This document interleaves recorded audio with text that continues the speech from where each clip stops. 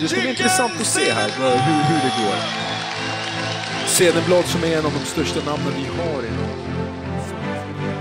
I don't know the special way to beat him, but hopefully I put a fist in his face and sometimes I get lucky and they fall down.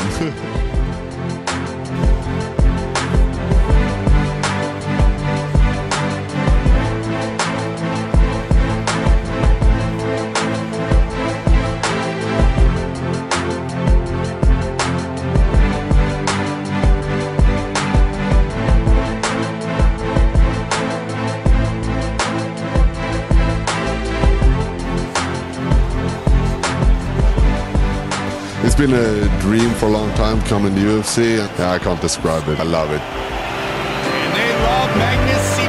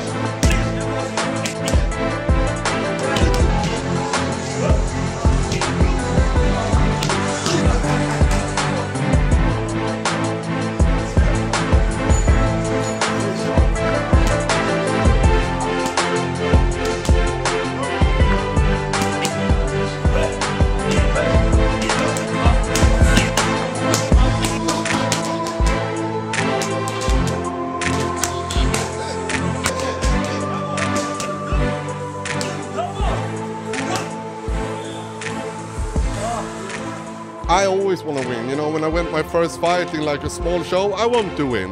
And my second fight, I want to win. I want to win every time. It's not like I fight better because I have to win. I always want to win.